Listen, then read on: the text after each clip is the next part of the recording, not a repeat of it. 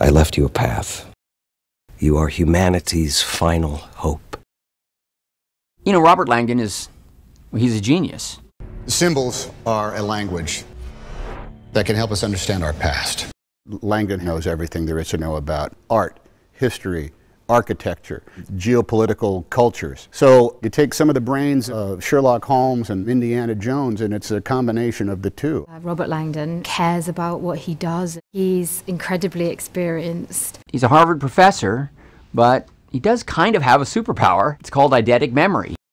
Demons, omens, codes, monks. He never forgets a thing.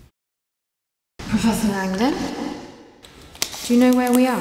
However, as can sometimes happen to superheroes, that's greatly impaired in this movie. What am I doing in Florence? The police are here to see you.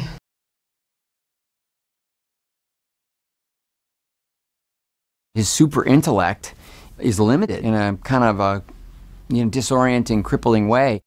I can't remember anything. I'm having visions. It's the head trauma.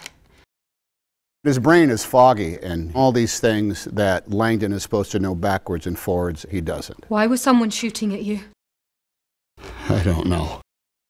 That forces him to come to terms with what he might actually be capable of that might not fit into everything you would expect of Robert Langdon. Oh my God.